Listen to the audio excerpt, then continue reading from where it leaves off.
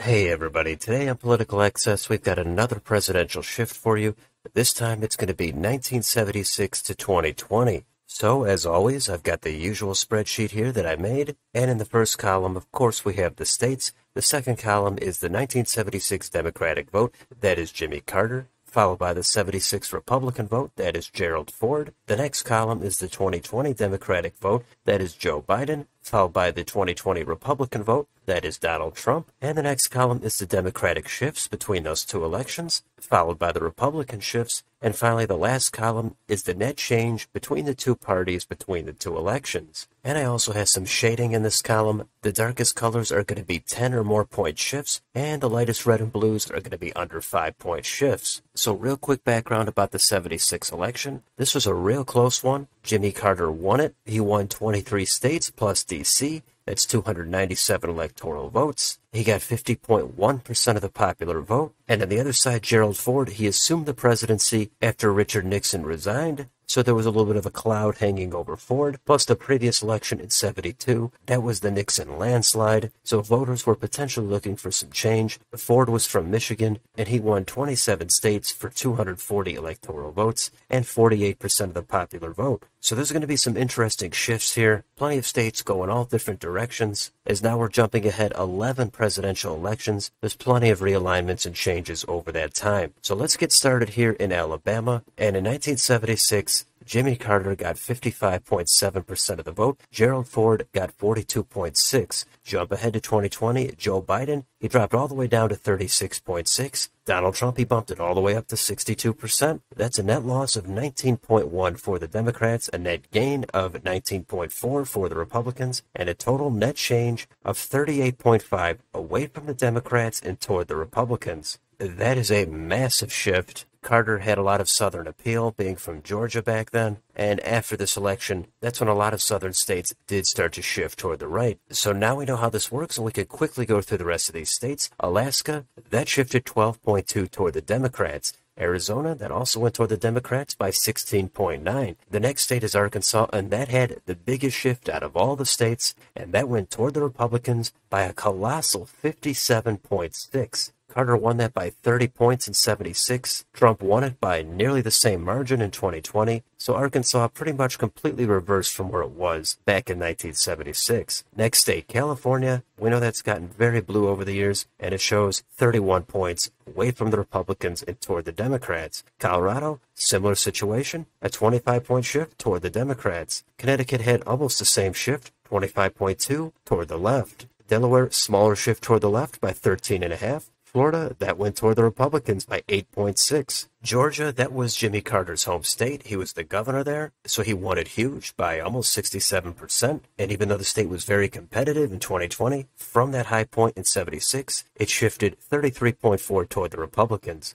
In Hawaii, that went 26.9 toward the Democrats. Idaho, and even 8% toward the GOP. Illinois went toward the Democrats by 18.9. Indiana got redder by 8.4. Iowa as well by 7.2. And also in Kansas by 7.1. Kentucky is a state that used to be blue, and that shifted a massive 33.1 toward the Republicans. Similar in Louisiana by 24.3. In Maine, that went back toward the Democrats by 9.9. In Maryland, that had a huge lurch toward the left by 27.2. Massachusetts, again by 17.8. Michigan, also toward the Democrats by 8.2. Minnesota, that's kind of a blue state, but that went toward the Republicans by 5.8. In Mississippi, that went toward the GOP by 18.4. Same in Missouri by an even 19%. Montana also got redder by a more modest 8.9. Nebraska got a little bit bluer by 1.6. Nevada a little bit bluer still by 6.8. New Hampshire went even further toward the Democrats by 18.6. Also in New Jersey by 18.1.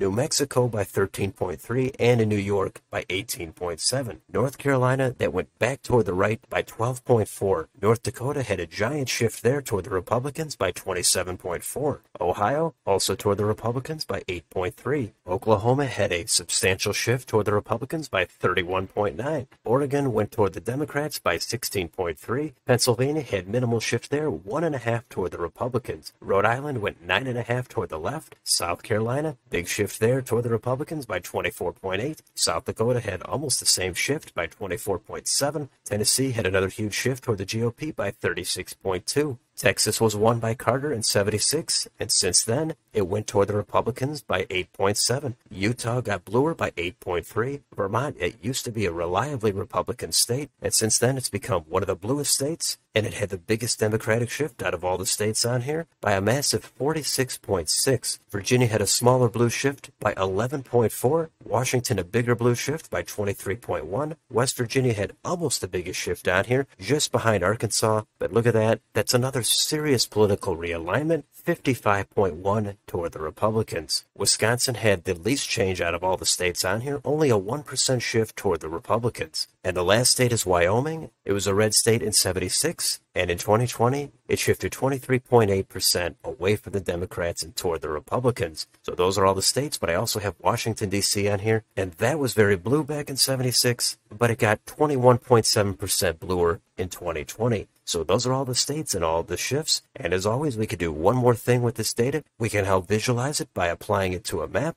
And here it is. It's the same basic shading. The darkest colors are going to be 10 or more point shifts. And the very lightest colors, those would be the tilt margins of under one point. There's none of those on this map. So then the lightest color would be under a five point shift. Those would be the lean margins. So three levels of shading. And I also have the congressional districts in Maine on here as well. So what are the takeaways on here? Well, I think this was such a close election in 76. and It was also a pretty close election in 2020. The third party vote in both of these years was not overwhelming so it's a good comparison to see where we've come over the last four to five decades. And this is a very even shift. There were 26 shifts toward the Republicans and 24 toward the Democrats, 25 if you throw in D.C. The most obvious place to start is in the South. We know that became reliably Republican in deep red pretty much ever since the 80s, and that really shows on this map. And in the other direction, the Northeast in New England and the West Coast, that went in the complete opposite direction. And in a place like Virginia, that was a pretty reliably red state up until about 2008. Georgia, that's competitive today, but that number is going to be skewed because Carter was from Georgia, but still a massive shift away from the Democrats there. Minnesota, that was a blue state back in 76, and according to this, it shifted moderately toward the Republicans. West Virginia was one of the reliably blue states back in the day, and now it's